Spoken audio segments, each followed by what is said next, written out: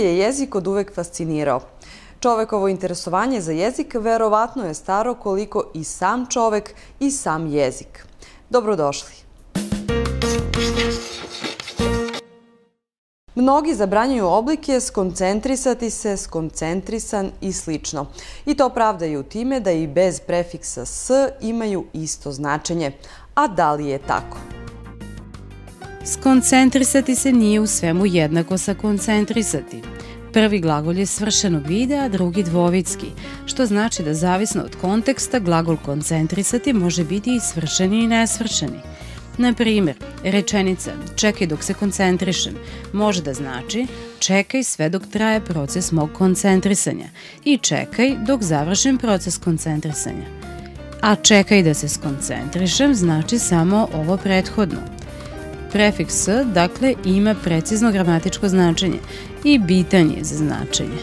U rečniku Matice Srpske zabeležene su i oblici sa s i bez tog prefiksa – Dakle, tvorbeno i semantički je ispravno i koncentrisati se, koncentrisan i skoncentrisati se, skoncentrisan.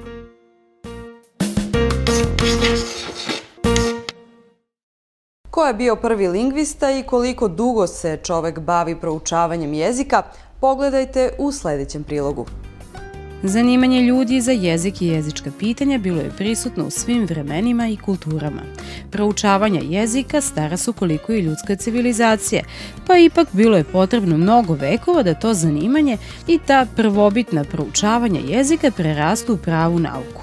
Lingvistika se uobličila kao prava nauka tek s kraja 19. i početka 20. veka. Zaslužan za to bio je švajcarski lingvista Ferdinand de Saussure, koga danas pominjemo kao začetnika moderne lingvistike. U svojim predavanjima, koja su nakon njegove smrti objavljene u knjižici pod nazivom Kurs opšte lingvistike, on je izložio temeljne naučne tvrdnje o jeziku bez kojih se ne može zamisliti savremena lingvistika. Mada je Susir zadao temelje lingvistici kao modernoj nauci i pre njega naučnici su se bavili ljudskim jezikom uopšte ili raznim pojedinačnim ljudskim jezicima – Sa sigurnošću možemo reći da je prvi lingvista bio onaj nama danas nepoznati čovek koji je pre nekoliko hiljada godina izmislio prvo slogovno pismo. Da bi govor pretvorio u pismo, morao je na neki način analizirati fonologiju jezika za koji je pravio to pismo i to ga čini prvim lingvistom u istoriji. Najstariji lingvista čije nam je delo i ime poznato pak jeste indijski gramatičar Panini, koji je živeo u četvrtom veku pre nove ere. U Indiji toga vremena sanskrit je imao religijsku vrednost kao obredni jezik, zbog čega je gramatički opis sanskrita bio važna disciplina u indijskom društvu. Panini je bio samo jedan u nizu brojnih indijskih gramatičara, neki od kojih su se bavili opisom sanskrita i par stotina godina pre Paninija, ali njihova dela nam do danas nisu ostala sačuvana. Od Paninija, međutim, ostao nam je dosta detaljan opis gramatike sanskrita i za svoje doba čak izuzetno napredan. Panini je pre više od 2000 godina poznavao jednake lingvističke pojmove i primenjivao jednake deskriptivne lingvističke metode kakvima se služi današnja moderna lingvistika. Recimo, neverovatno zvuči da je Paniniju sasvim bio poznat koncept foneme, dok ga je zapadna lingvistika usvojila tek krajem 19. i početkom 20. veka ili to da je Panini jezik opisivao u duhu generativne gramatike, onako kako će profesor Chomsky pristupiti sintaksi tek kasnih 50. godina 20. veka, napravivši time revolucionaran pomak za modernu lingvistiku. Stoga Paniniju s pravom pripada zvanje najstarijeg lingviste, čije nam je delo poznato. U Evropi jezikom su se u okviru filozofije bavili antički grčki filozofi. Neka od glavnih pitanja koje su njih zaokupljala bila su to da li je odnos reči i stvari proizvoljan ili predodređen nekom osobinom same stvari ili to da je jezik po sebi pravilan i sistematičan ili je izgrađen od brojnih nepravilnosti. Zanimljivo, par hiljada godina kasnije ta pitanja i danas su u lingvistici sasvim aktuelna.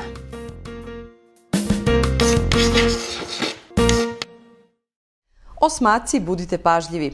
U segmentu gramatika za osmake red je došao na priloške odredbe.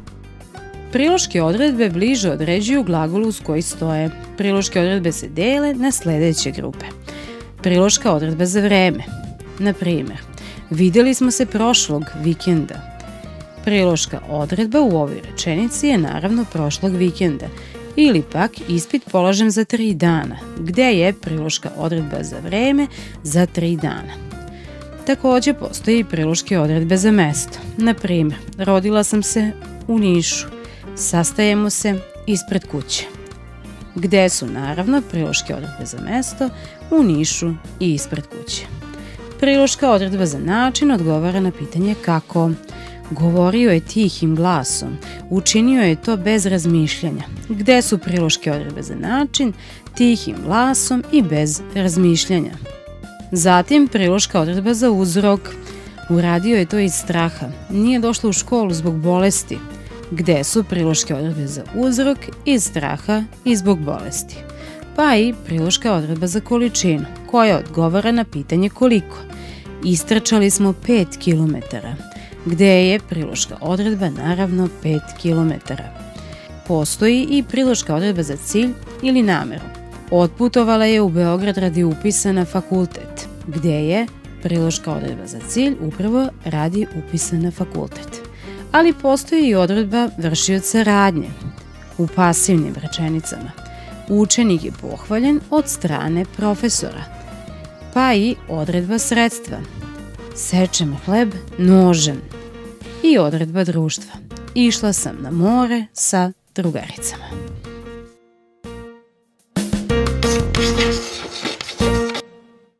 Takvo je vreme došlo. Sve češće građani svoja prava traže kod zaštitnika građana, odnosno ombudsmana. A odakle ova čudna i za izgovor teška reč u našem jeziku? Naziv ombudsman potiče iz švedskog jezika, tačnije staronordijskog. Bukvalno značenje ove reči je predstavnika, u njenoj osnovi krije se i reč advokat. Švedski parlament je još 1809. godine osnovao instituciju ombudsmana, čiji je zadatak bio da brine o pravima građana nezavisno od izvršne vlasti, a termin se od tada proširio i na ostale svetske jezike. Verujte mi na reč.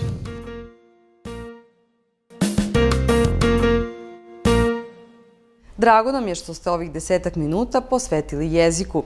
Sledeća fiskultura je za sedam dana. Prijetno!